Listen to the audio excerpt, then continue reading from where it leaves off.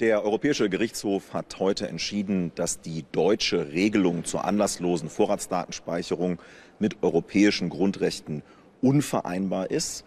Das ist ein guter Tag für die Bürgerrechte, eine gute Nachricht für die liberale Demokratie und für unsere freie Verfassungsordnung in Europa. Es ist schlichtweg unvereinbar mit unserer Werteordnung, wenn Kommunikationsdaten der Bürgerinnen und Bürger anlasslos und ohne dass der Verdacht einer konkreten Straftat vorliegt, gespeichert werden. Und deswegen ist jetzt völlig klar, die Ampelkoalition muss die anlasslose Vorratsdatenspeicherung aus den deutschen Gesetzen streichen.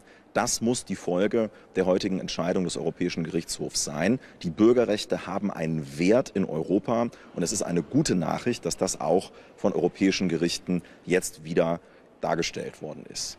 Das ist ein Scheitern des deutschen Gesetzgebers mit Ansage. Denn der Europäische Gerichtshof hat zum wiederholten Mal seine Rechtsprechung bestätigt, dass eine anlasslose Vorratsdatenspeicherung nicht mit den Grundrechten vereinbar ist. Man hätte das wissen können und man hätte sich auch früher einem Modell öffnen müssen, mit dem die Verfolgung von Straftaten möglich ist, aber gleichzeitig die Bürgerrechte geschützt werden.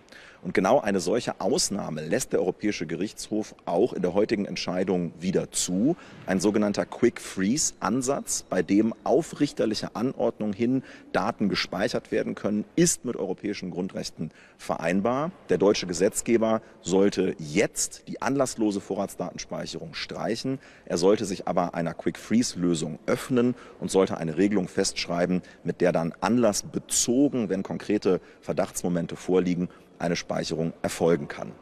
Der deutsche Gesetzgeber, Bund und Länder sollten außerdem in einen Dialog darüber eintreten, wie Daten schneller miteinander geteilt werden können. Denn wir haben gerade im Bereich der Straftaten im Internet wachsende Zahlen, insbesondere die Darstellungen von Kindesmissbrauch nehmen zu. Wir müssen das bekämpfen, wir müssen diese widerlichen Straftaten ahnden und Täter verurteilen. Es kann aber nicht sein, dass die Bürgerrechte auf der einen Seite und die Verfolgung dieser widerlichen Straftaten gegeneinander ausgespielt werden. Und wer ernsthaft meint, dass diejenigen, die gegen die Vorratsdatenspeicherung sind, den äh, Kindesmissbrauch nicht verfolgen wollen, der äh, begibt sich in den Bereich von äh, eher abschneidenden Diffamierungen. Es geht darum, Kindesmissbrauch zu verfolgen. Und wenn nicht der deutsche Gesetzgeber immer und immer wieder in Karlsruhe und in Luxemburg gescheitert wäre mit der 100-Prozent-Lösung von Innenministern aus den Reihen der SPD und der CDU, dann könnten wir schon längst eine Quick-Freeze-Regelung in Deutschland haben. Diesen Weg jetzt zu gehen, ist das, was die Ampelkoalition leisten muss.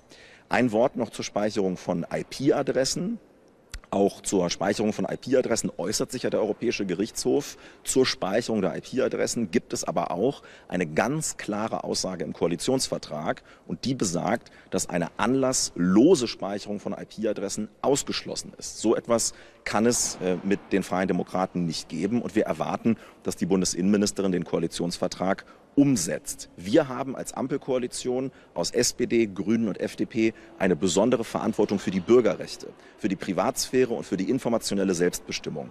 Als eine Bundesregierung ohne CDU, CSU müssen wir dieser Verantwortung jetzt gerecht werden. Das gilt für die gesamte Bundesregierung, für den Bundesjustizminister, der schon angekündigt hat, dass er in diesem Bereich tätig werden will, was wir sehr begrüßen. Aber es gilt eben auch für die Bundesinnenministerin.